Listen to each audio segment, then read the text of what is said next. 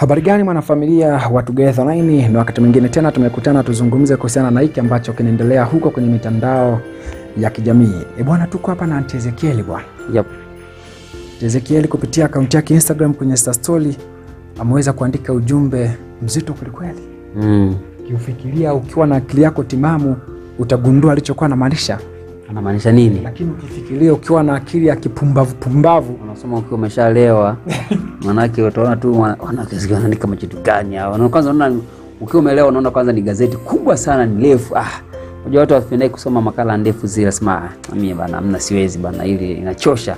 Mm, Watu lakini bwana waga wanapenda kusema msemo mmoja hivi ambao napenda pia na mimi kutembea nao kwamba bwana, uh, huwezi jua thamani ya mtu uwezi, no, uwezi, uh, huwezi eh, jua thamani ya kitu mpaka kipotee. utakuja sema kwamba da, kumbe kilikuwa na umuhimu hivi. Kweli kabisa, na ndo maisha yalivyo. Yani unajua uh, hata kama unajua hata kama wanasema kwamba hata kama uh, ulikuwa na mlikuwa na mnaishi hata na mama yenu au babu yenu bibi yenu aishagazeeka uh, unaweza katoka yule babu yenu afu nikajikuta kajikuta mnaanza kupata migogosi, kumbe kumbe mzee alikuwa na alikuwa na umuhimu fulani japokuwa ameshazeeka. Kwa hiyo kitu unakuja kuona uh, kina thamani baada ya kuwa kimeondoka. Mfano, mfano mzuri uh, watu wanapenda sana kutumia uh, kwa wale jama pinzani, jamani, samani kwa hili nali hayati Magufuli Okay? kwamba bwana uh, kipindi yupo kwa namna moja nyingine, kuna baadhi ya watu walikuwa wanambeza Okay. lakini baada ya kuondoka wanasema ah, kwa maana yule eh, eh, alifanya hiki eh?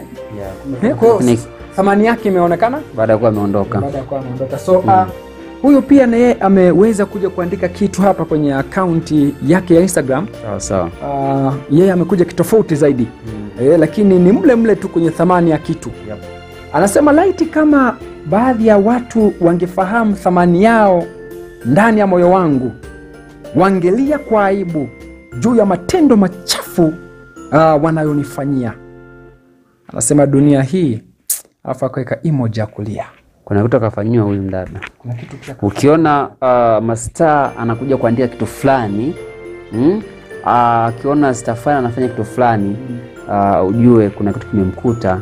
Uh, yuko kwenye mazingira ambayo sio mazuri, amejikuta uh, au mashoga zake wamemvuruga mm? Ndio maana afika au amewenda huyu hata rafiki yake amchukulia bwanake chapu mara moja eh, kwa anakakaa ni anashangaa shangaa uh, baba nono hayupo kitandani, unashangaa baba nono ameenda wapi? Anakuja kesho asubuhi, eh, nilikuwa mchukua baba chawi, hata sijui mimi mwenyewe nilikuwa niko kule bondeni, yani sijui hata imekwaje.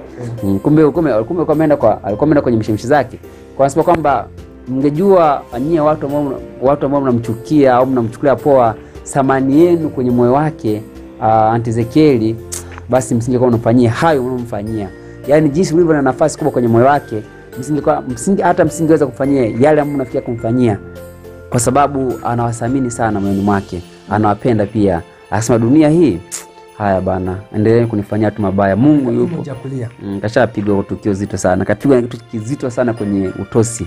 Muda wote naweza tukasikia taarifa mbaya kutoka kwa mwanadada Aunty Ezekiel, kwa sababu mtu akiandika hivyo eh, chochote kimemkuta kizito, yani ambacho sio cha kuelezea kwenye mtandao wa kijamii eh? Sasa kwamba dunia tambara bovu, mama, kaza moyo na usikate tamaa, kwani yote ni mapito. Mm, wimbo naupata sana. Baba kaza moyo hapa duniani ni yashinde wafiti. Oh, oh. Unaupata wimbo kitambo, Oh, mm, kitambo sana. Nyie vijana wadogo wa mwezi mm. Nyie vijana wadogo ni- uyashinde. Eh? kwamba uh, mama kaza moyo eh, hapa duniani uyashinde uyashinde. Mm. hivyo kabisa tu, kama kwaya ya Mta- Mtakatifu Cecilia Oh, bora sijui bora ni Bora Bwana ni- jiue. bora ni bora yapite. Oh, oh, oh. Ah, si hatari sana. Nakumbuka kipindi hicho ilikuwa ni mwaka sabini na tano hivi Wimbo umetoka tisini na moja alafu nilikuwa sehemu moja nimetulia mwanangu naana da Mm, ndo hivyo tano bana. hivi.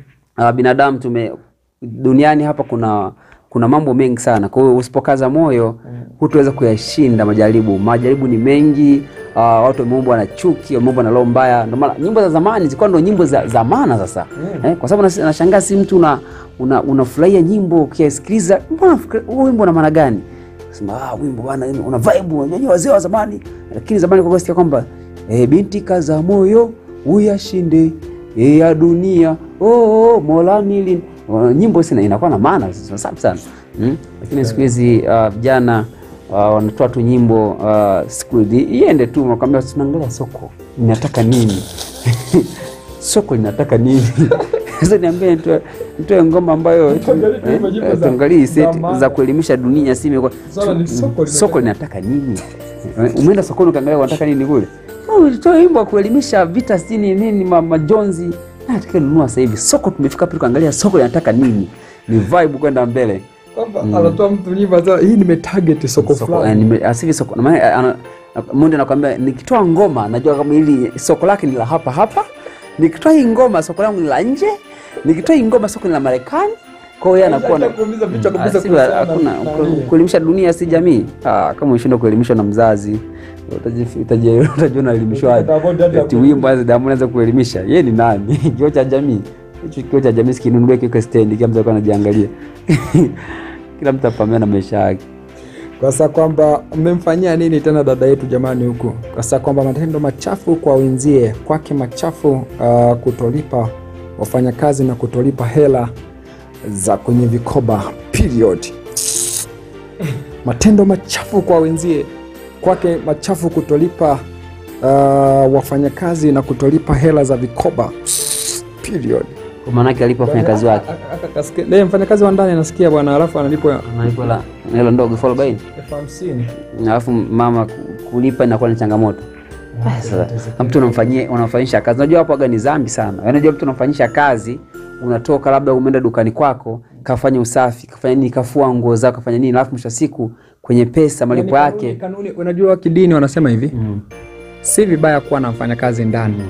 Lakini hata hata hili tu neno mfanyakazi halistahili. Aga ni msaidizi. Msaidizi wa kazi. E, yani kwamba sasa katika katika una, na yule mdada wako wa kazi sawa? Mm. Mnakuwa mnapika wote. Yaani mnasaidiana Eh, kazi. Yani labda usifanye, haupo. usifanye mtumwa. Labda haupo. Mm. lakini kama upo.